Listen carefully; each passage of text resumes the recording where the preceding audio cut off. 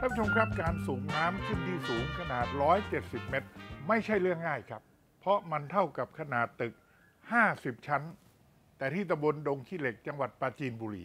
เขาสามารถสูบน้ำขึ้นที่สูง 170 เมตร ด้วยภูมิปัญญาของชาวบ้าน เขาทำได้อย่างไร น้องดาวไปพิสูจน์เรื่องนี้ครับ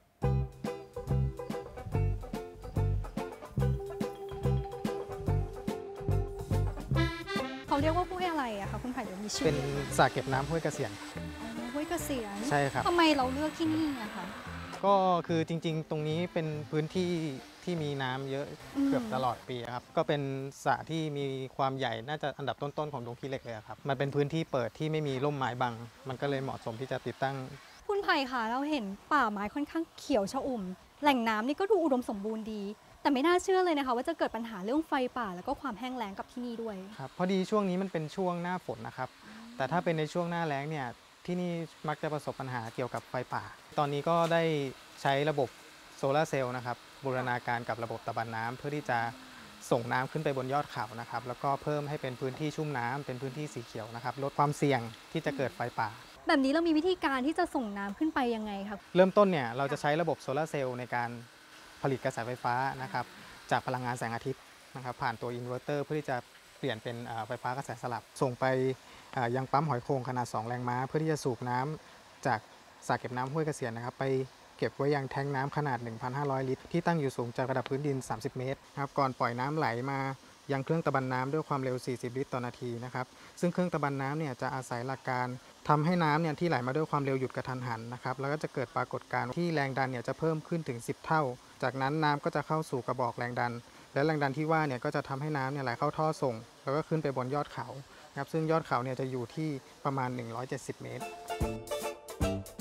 พูดมาขนาดนี้ก็ต้องขึ้นไปพิสูจน์ให้เห็นแล้วค่ะว่า น้ำขึ้นไปบนยอดเขาชีปิดได้จริงหรือไม่ ชื่อเลยนะคะ ว่าน้ำจากห้วยเกษียณจะขึ้นมาบนยอดเขาได้จริง ๆ โอ้โห คุณลุงหาไม่น่าเชื่อเลยนะคะ ว่าเราเนี่ยมีการนำน้ำขึ้นไปถึงข้างบนยอดเขาได้ทำไมเราถึงคิดที่จะนำน้ำขึ้นไปถึงบนยอดเขาล่ะคะ ก็เนื่องจากอย่างนี้นะเนื่องจากที่ว่าเมื่อก่อนเนี่ยเราเฝ้าระวังเรื่องการดูแลไฟไฟป่า ค่ะ ซึ่งเราใช้กำลังคน ถ้าเราเอ่อจะดูแลกันมีจัดตรวจเวรยามกันอยู่ตลอดเนี่ยเราก็แย่เหมือนกันแล้วเพราะเราทำมาหากินใช่ไหมค่ะเอ่อก่อนที่จะมาถึงตรงนี้เราได้ไปศึกษาและไปเรียนรู้เรื่องพลังงานชุมชนด้วย ได้ความรู้จากการเรียน แล้วก็ได้เอ่อพูดคุยกับคนที่มีความรู้ทางด้านนี้ คิดว่าเอ๊ะเราน่าจะเอาน้ำที่เรามีอยู่เนี่ยต้นทุนน้ำที่เรามีอยู่เนี่ยไปเก็บขึ้นบนยอดเขาเพื่อทำป่าเปียกได้ พอดีทางปอทก็ให้แนวคิดว่าเออเราน่าจะทำเรื่องตะบันน้ำขึ้นไป โดยไม่ไม่ใช้ระบบไฟฟ้าที่มีอยู่ประจำทางปอทก็บอกคิดว่าอย่างนั้นเดี๋ยวใช้พลังงานแสงอาทิตย์เนี่ยเข้ามาช่วยมาเดินดูสถานที่แล้วก็ออกแบบก็เลยมาบอกว่าเออเราต้องมีที่พักน้ำก่อนแล้วน้ำย้อนกลับไปข้างล่างอีกทีหนึ่งค่ะมันเหมือนเป็นการทดลองเหมือนการวิจัยไปด้วยนะแต่พวกเราก็มีความตั้งใจ แล้วมันก็ค่ะเกิดความ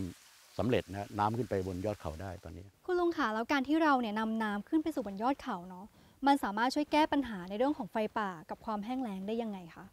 โอ้อันนี้คือมันตอบโจทย์ชัดเจนนะน้ำที่ขึ้นไปเนี่ยมันทำให้ป่าเนี่ยมันมีความชื้นอยู่ตลอด ไฟที่จะเกิดเนี่ยมันก็ไม่ได้เกิดขึ้นได้แล้วตอนนี้นะมันเพราะมันเปียกอยู่ตลอด แล้วก็เราก็จะมีน้ำสำรองไว้อีก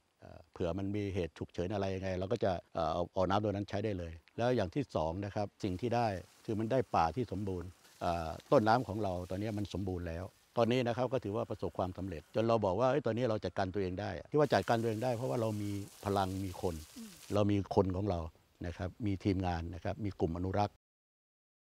การนำน้ำจากที่ต่ำขึ้นสู่ที่สูง ไม่ใช่เรื่องยากอีกต่อไป และไม่ต้องใช้พลังงานไฟฟ้าให้สิ้นเปลืองค่ะ เพราะเราใช้พลังงานน้ำเป็นตัวขับเคลื่อนระบบ ก็สามารถสูบน้ำได้แล้ว ที่สำคัญค่ะ สามารถตอบโจทย์ ช่วยแก้ไขปัญหาเรื่องไฟป่าและความแห้งแล้งของชาวบ้านที่นี่ได้เป็นอย่างดีเลยทีเดียวค่ะ